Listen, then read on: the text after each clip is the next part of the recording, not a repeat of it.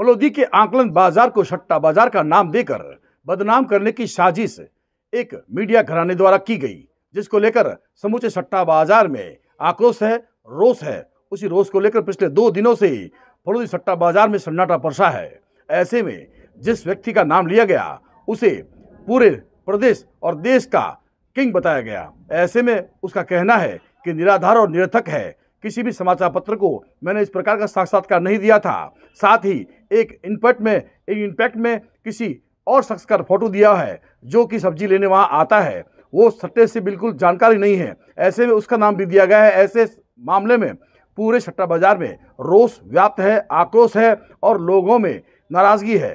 लोगों का कहना है कि फलोदी सट्टा बाज़ार नहीं है बल्कि यहाँ तो आईपीएस, आरएस और सीए की नगरी है। हाँ कभी कभार यहाँ लोग आपस में बातें करते थे, चाहे वो मध्य प्रदेश हो, गुजरात हो, राजस्थान हो, या अन्य प्रांतों से जब यहाँ बुज़ुर्ग आते थे तो सब्ज़ियाँ लेने इसी बड़ी बाज़ार में आते थे और यहाँ बैठ के हथाई करते थे और एक दूसरे की बातें पूछते थे कि किस कॉन्स्टेंसी में कौन जीत रहा है और किस कॉन्स्टेंसी में कौन हार रहा है। ऐसे ही आंकलन करते करते फौजी का सट्टा बाज़ार नाम पड़ गया। लेकिन यहाँ एक मीडिया घराने द्वारा बदनाम करने का प्रयास किए जाने के चलते यहाँ पर जो है, वो बड़ा ही रोष व्याप्त है, आक्रोश व्याप्त है। पिछले दो दिनों से इस सट्टा बाज़ार परिसर में सन्नाटा पसरा है।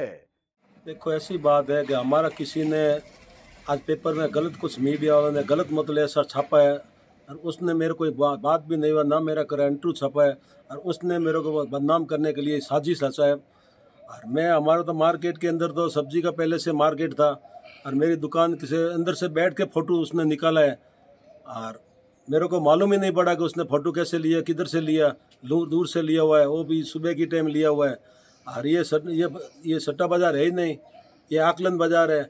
यहाँ तो सब लेके आते हैं, बैठे हम हम तो हथे ही करते हैं आइडिया निकालते हैं सर्वे देखते हैं टीवी देखते हैं, उसके आधार पे हम तो निकालते हैं। तो हम इधर सट्टा वगैरह थोड़ी है। सट्टा वगैरह तो पहले कोई टाइम में होता था अभी तो सट्टा है नहीं। अगर सट्टा होता था हमारे बच्चे इतना थोड़ी पढ़ पढ़ लिख के आज सी ए का हब है ये। सबका मतलब हर चीज़ का ये अब है फलोदी आईपीएस और आईएएस बनाने के लिए हमने तो दस साल के लिए सड्डा बाज़ार भी बंद करके रखा है।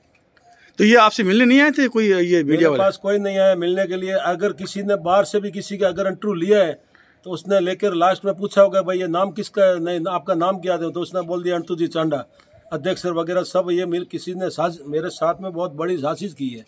साजिश की है और इनके लिए मुझे बहुत दुख हुआ है। और आज हमारे आकलन बाज़ार का भी बहुत धक्का लगा है।